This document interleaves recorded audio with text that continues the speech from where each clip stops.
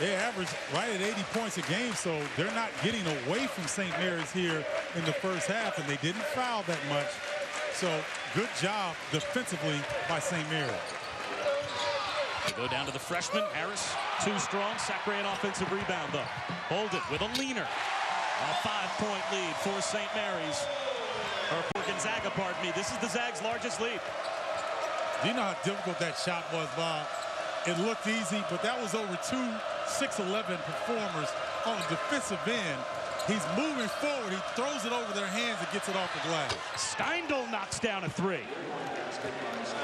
Steindl twice the crowd. Nice job by St. Mary's answering coming out of the half.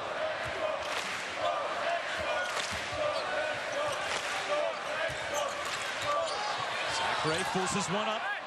The rebound down to Ben Allen. And to back up what you were talking about, Stephen, on the box score, neither team credited with any fast break points in the first half. A nice reverse by Omar Samhan. Second time tonight we've seen him do that. Go away from the pressure of the defense, use the rim to shield himself from the defender. Ball glass. Bouldin, pull up, too strong.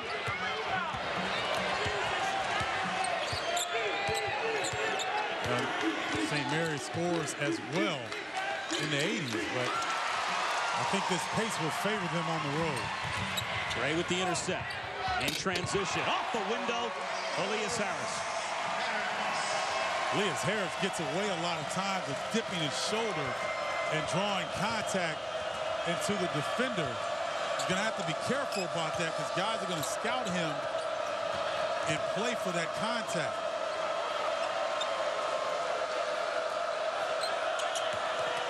Samhan fades away over Sacre, scores again. He's got 18. Woo. Make me have the bitter beer face over here. Just the contact spin away, fade away over Sacre. Sacre missed everything. And it's knocked out of bounds by Elias Harris. We've seen the full arsenal tonight from Omar Samhan. Young players, this is why your fundamentals have to be strong. Look at the big fella go with his left hand off the bounce to get underneath the rim. That's good fundamental basketball by Omar Samhan.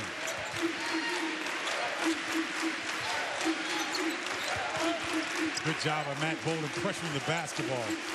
He and Demetri Goodson forcing St. Mary's to be outside of their comfort zone. To the corner, Allen for three. That one hit the backboard first. Offensive rebound. Samhan's putback won't go. And Gray the rebound. Here comes Bouldin. Nice defense by Sacre without foul. Goodson from the corner. And Sacre runs down the long rebound. Gray, an NBA three. In and out. Wow. Steven Gray continues to struggle from long range. Bob, every time that I played and you're struggling, you want to get that layup down. Samhan comes up short this time, tips it. Sacre able to wall him off. Goodson on the drive, scores off the glass. Well, Demetri Goodson, last three games, really getting to the well at will. Teams having a difficult time of containing his penetration. McConnell tried to flip one back for the cutting Samhan right to Harris. Harris drives it, scores plus the foul.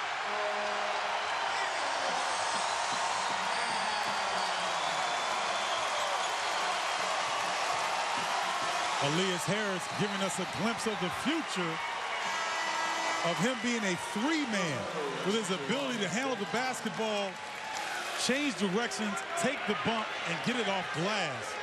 That's where this young man's future is going to be. He's playing the four position right now at Gonzaga, but his future rests at the three position, being a small forward. That foul was the third on Ben Allen, and Allen staying in the game. Mike Harris, the father of Elias Harris, with a fist pump. He's here tonight. He was a military dad, raised his son over in Germany. And Elias played for the German national team, the 2009 European Championships.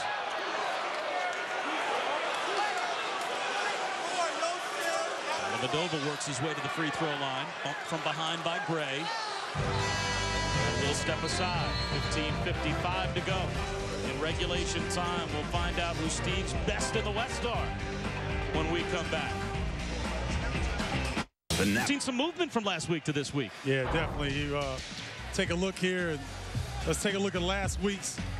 Gonzaga holding up the top.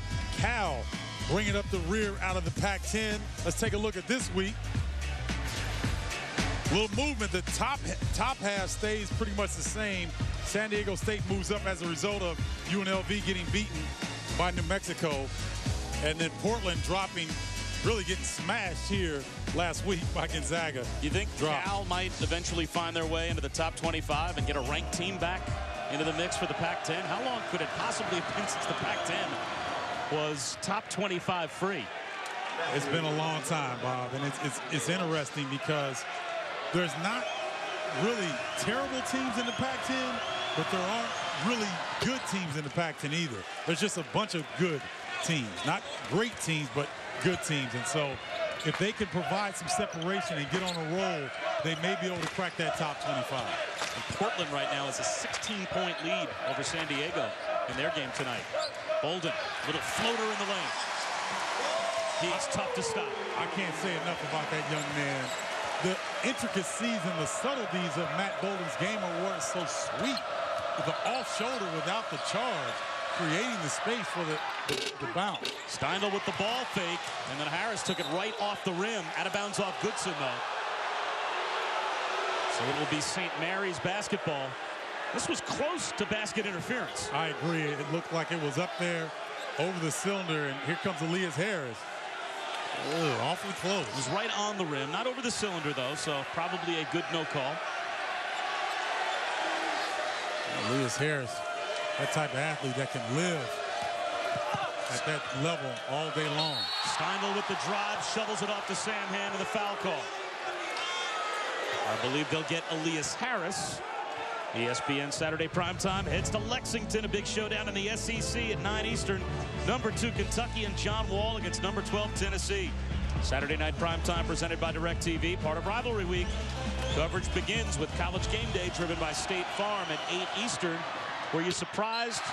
Not that Vanderbilt beat Tennessee the other night, but that they whooped them. I mean, it wasn't a contest. Well, when you look at Tennessee, to me, Bruce Pearl has to be a candidate for Coach of the Year. Based on the incident with Tyler Smith losing your best player and then coming into the SEC, knocking off Kansas when they were number one, you knew at some point they were going to have a lull or a drop-off. And Vanderbilt was playing some of their best basketball when they popped Tennessee. But don't sleep on the volume.